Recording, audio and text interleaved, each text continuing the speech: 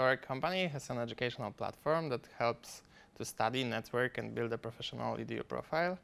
And we let teachers and content creators create their own courses, sell them, distribute to our students that get their knowledge, and it also helps teachers earn money. Yeah, okay, so as we are an educational platform, so what actually differentiates us from other educational platforms is definitely the social like concept that we apply to that.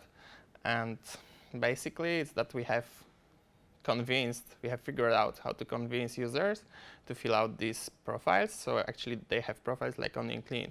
LinkedIn. And thanks to that, uh, we can easily gamify these users using kind of sophisticated uh, algorithms that uh, boost their motivation and actually increase the engagement and completion levels.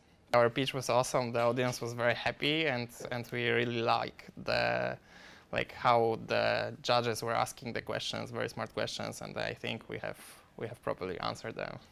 Yeah, definitely, we want to like add more features that will make users loving us more and and more users coming to the platform. From content creators' side, I believe that we still can be improving.